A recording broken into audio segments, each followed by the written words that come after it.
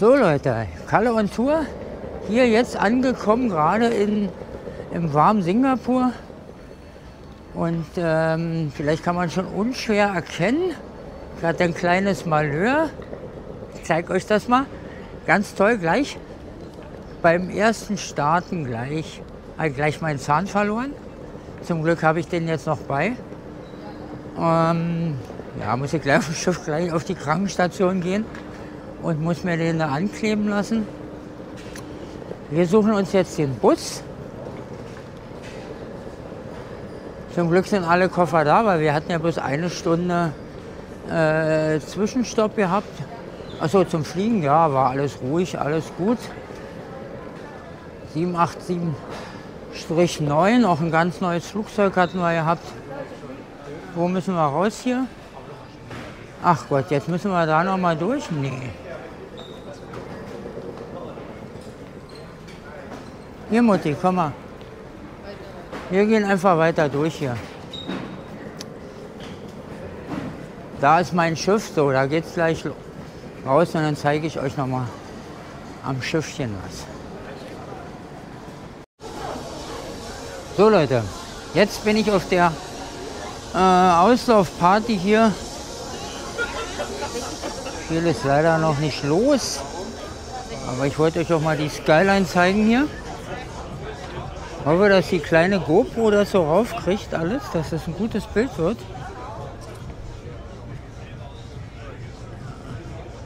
Ehrlich gesagt wird nicht viel zu sehen sein.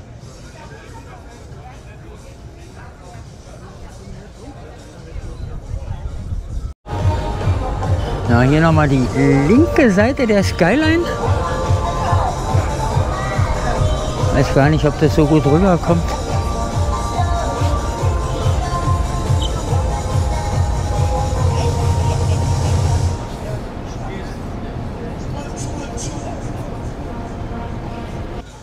Ja, wir laufen morgen aus, äh, beziehungsweise heute Nacht noch um 0 Uhr leider. Da werde ich wahrscheinlich schon im Bettchen sein.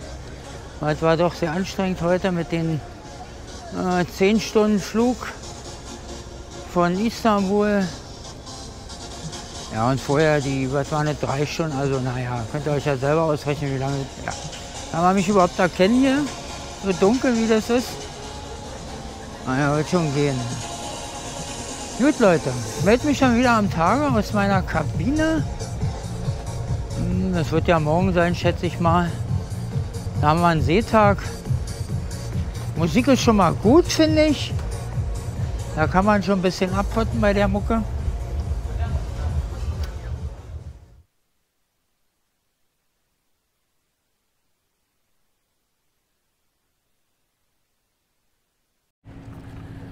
So Leute, heute erster Landgang hier in Penang.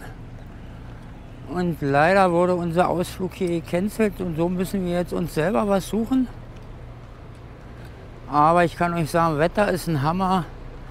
Sehr, sehr warm. Sehr, sehr warm. Und im Hintergrund seht ihr das Schiff. Das mache ich nachher noch mal ein bisschen genauer, dass man sehen kann, was das für ein Riesenkasten ist. Wir laufen jetzt hier durch das Hafenterminal und schauen mal. Äh, ja.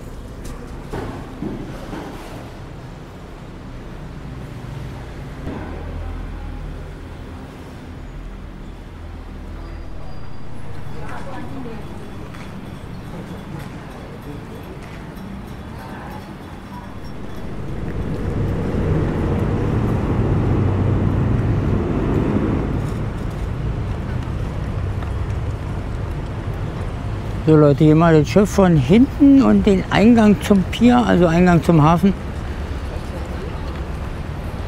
Ah, Schiff zeige ich gleich noch mal ein bisschen dichter, wenn wir da näher dran sind.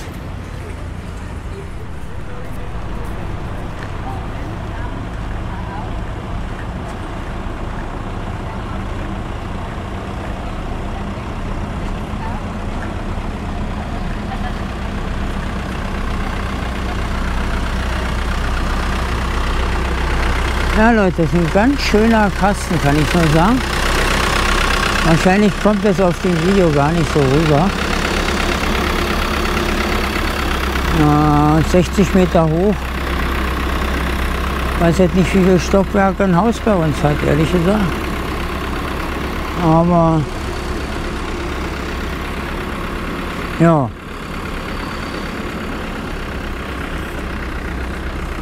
Na gut, Leute, das war erstmal aus Penang. Color und Tour aus Penang, genau. Mit Zahnlücke.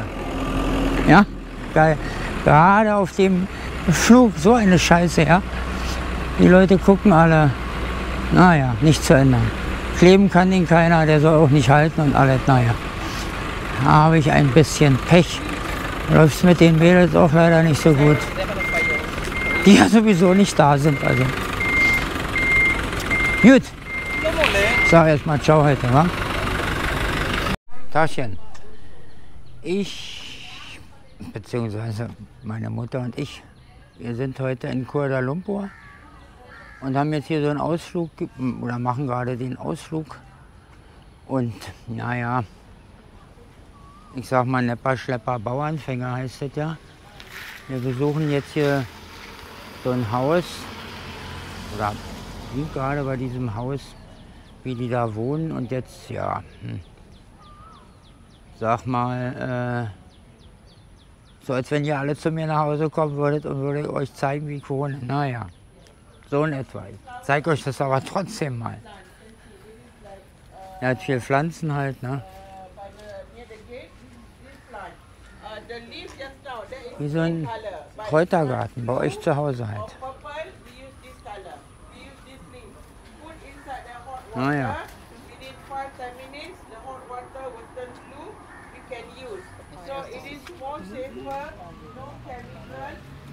Vielleicht ist ja einer Gärtner von euch. Zeige ich euch mal die Blümchen.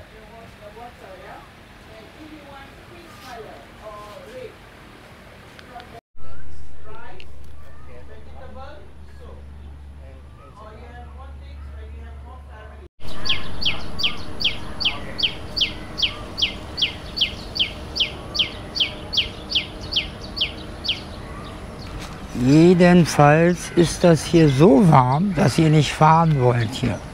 Also Karre fahren wollt. Ich glaube, das macht keinen Spaß hier. Man denkt ja mal auch, wenn es schön warm ist. Aber hier sind bestimmt 80 Prozent Luftfeuchtigkeit. Jetzt ist es noch früher Morgen, aber ja, zum Fahren, wir waren gestern unterwegs und da war das so heiß gewesen, da hast du gesagt, nee, also nur noch Schatten. Oder sogar in der Klimaanlage.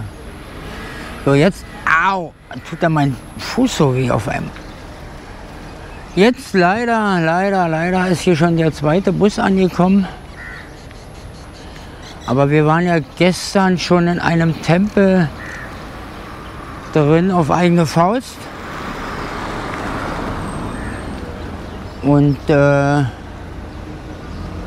ja, der sah so ähnlich aus. Ich zeigte euch den mal. Ja. Das habt ihr schon gesehen im Video. Wird ja dann wahrscheinlich im Video kommen.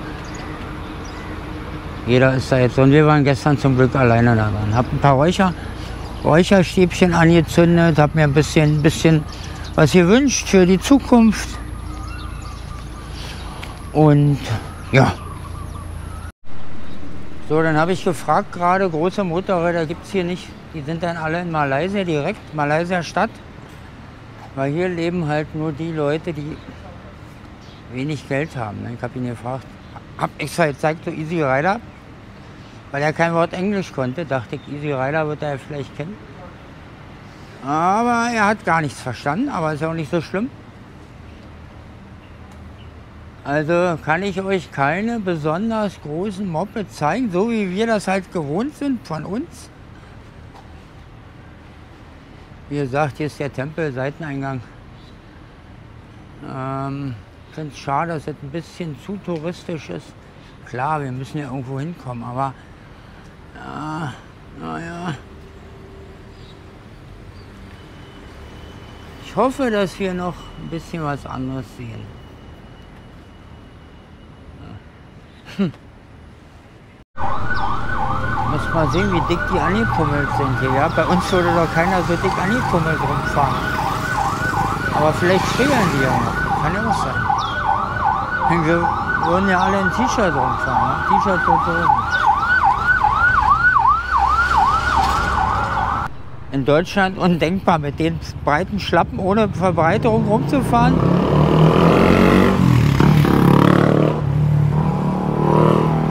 Fall. Geil, mit den Stacheln da dran. Ja, woanders ist eben alles möglich. Nur in Deutschland. Wenn die schicken Sachen verboten. So, moin Leute. Heute sind wir in Langkawi. Eine von 100 Inseln oberhalb von Malaysia gelegen. Und wir machen heute einen Ausflug ähm, in den Tropenwald und hoffen darauf, dass wir da ein paar äh, Tierchen zu sehen bekommen. Leider auch heute mit langen Hosen. Ah, das kann man ja nicht sehen, da von da oben mit der Kamera. Ähm, Langkawi Cruise Terminal hier. Wir müssen jetzt erstmal 800 Meter laufen, da wird noch ein Fotochen gemacht, genau. Im Hintergrund seht ihr schön das große Schiff nochmal.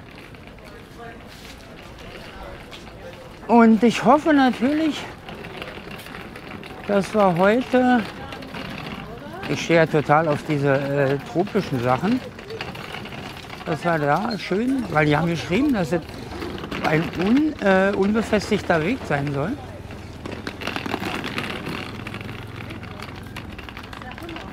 Und da hoffe ich natürlich drauf, also wir haben geschrieben Level 4, das ist äh, vielleicht mit Klettern verbunden. Ich hoffe, dass meine Mutter das alles schafft noch. Ja, so sieht es schon schön aus. Schön türkisfarbenes Wasser haben wir hier.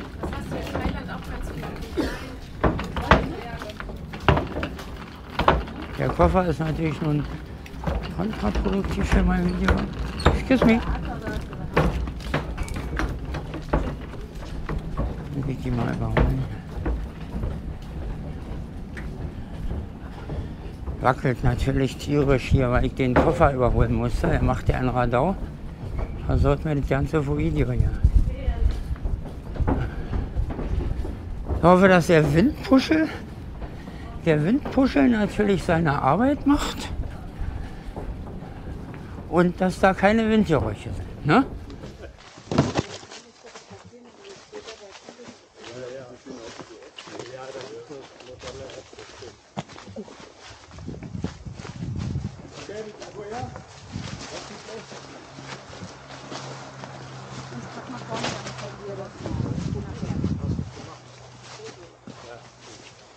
Bak o bayağı.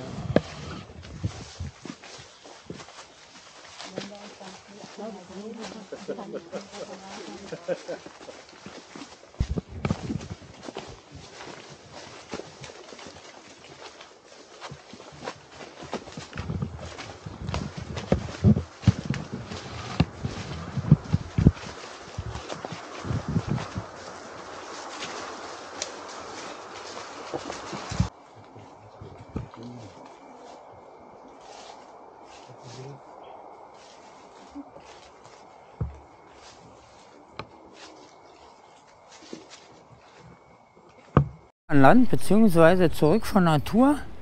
Wir hatten ja gerade ähm, die Dschungeltour gemacht. Gehen jetzt zurück aufs Schiff. Das Wetter ist schön warm, also sehr warm für, ja, für alle, die gerne bei Hitze fahren. Ich glaube, keiner von euch fährt bei dieser Hitze Karre. Ähm, also ich würde es nicht mehr machen. Es ist sehr, sehr, sehr drückend hier. 80 Prozent Luftfeuchtigkeit. Und äh, ja, dass wir zurück aufs Schiff gehen, hatte ich schon gesagt, glaube ich. Damit ist Langkawi jetzt auch hinter uns. Jetzt haben wir zwei Tage äh, Seefahrt, also wie heißt das? Seetage.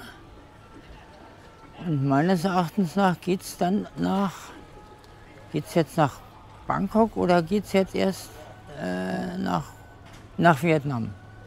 Kann ich jetzt so genau nicht sagen, weiß ich nicht. Wir sehen uns dann ähm, nochmal, denke ich, in Vietnam oder mache ich jetzt hier einen Cut?